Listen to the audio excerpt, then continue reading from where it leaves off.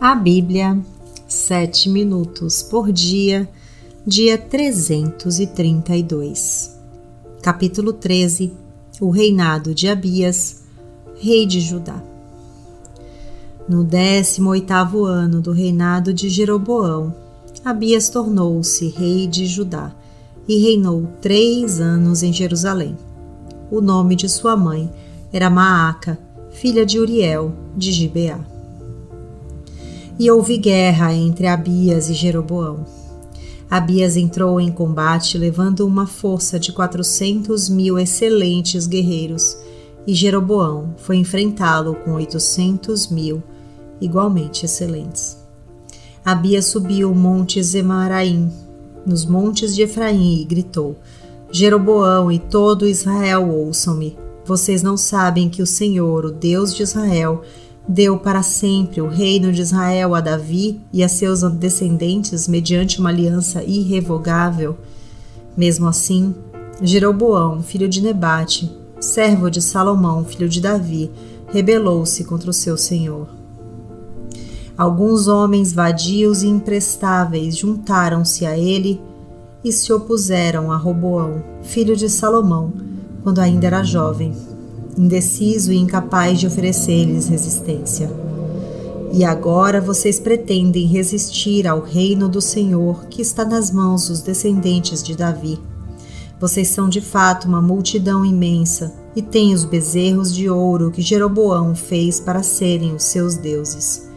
Mas não foram vocês que expulsaram os sacerdotes do Senhor, os descendentes de Arão e os levitas, e escolheram seus próprios sacerdotes, como fazem os outros povos? Qualquer pessoa que se consagre com um novilho e sete carneiros pode tornar-se sacerdote daqueles que não são deuses. Quanto a nós, o Senhor é o nosso Deus e não o abandonamos. Os nossos sacerdotes que servem ao Senhor, auxiliados pelos levitas, são descendentes de Arão. Todas as manhãs e todas as tardes eles apresentam holocaustos e incenso aromático ao Senhor. Arrumam os pães sobre a mesa cerimonialmente pura e todas as tardes acendem as lâmpadas do candelabro de ouro. Pois nós observamos as exigências do Senhor, o nosso Deus, enquanto que vocês o abandonaram. E vejam bem, Deus está conosco, Ele é o nosso chefe. Os sacerdotes dele, com suas cornetas, farão soar o grito de guerra contra vocês. Israelitas, não lutem contra o Senhor, o Deus dos seus antepassados, pois vocês não terão êxito. Enquanto isso, Jeroboão tinha mandado tropas para a retaguarda do exército de Judá, de forma que ele estava em frente de Judá e a emboscada estava atrás. Quando o exército de Judá se virou e viu que estava sendo atacado pela frente e pela retaguarda, clamou ao Senhor. Os sacerdotes tocaram suas cornetas e os homens de Judá deram um grito de guerra. Ao som do grito de guerra, Deus derrotou Jeroboão e todo Israel diante de Abias e de Judá. Os israelitas fugiram dos soldados de Judá e Deus os entregou nas mãos deles. Abias e os seus soldados lhes infligiram grande derrota. Quinhentos mil excelentes guerreiros de Israel foram mortos.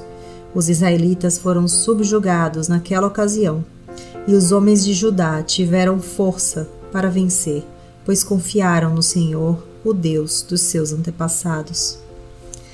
Abias perseguiu Jeroboão e tomou-lhes a cidade de Betel, Gesana e Efron, com seus povoados. Durante o reinado de Abias, Jeroboão não recuperou seu poder até que o Senhor o feriu e ele morreu. Abias, ao contrário, fortaleceu-se. Ele se casou com 14 mulheres e teve 22 filhos e 16 filhas. Os demais acontecimentos do reinado de Abias o que ele fez e o que disse estão escritos nos relatos do profeta Ido. Capítulo 14 O reinado de Asa, rei de Judá. Abias descansou com seus antepassados e foi sepultado na cidade de Davi. Seu filho Asa foi o seu sucessor, e em seu reinado o país esteve em paz durante dez anos. Asa fez o que o Senhor, o seu Deus, aprova. Retirou os altares dos deuses estrangeiros e os altares idólatras que havia nos montes. Despedaçou as colunas sagradas e derrubou os postes sagrados. Ordenou ao povo de Judá que buscasse o Senhor, o Deus dos seus antepassados, e que obedecesse às leis e aos mandamentos dele. Retirou os altares idólatras e os altares de incenso de todas as cidades de Judá, e o reino esteve em paz durante o seu governo. Também construiu cidades fortificadas em Judá, aproveitando esse período de paz. Ninguém entrou em guerra contra ele durante aqueles anos, pois o Senhor lhe deu descanso. Disse ele ao povo de Judá: Vamos construir essas cidades com muros ao redor, fortificadas com torres, portas e trancas. A terra ainda é nossa, porque temos buscado o Senhor, o nosso Deus. Nós o buscamos e ele nos tem concedido paz em nossas fronteiras. Eles então as construíram e prosperaram. Inscreva-se no canal para escutar o dia 333.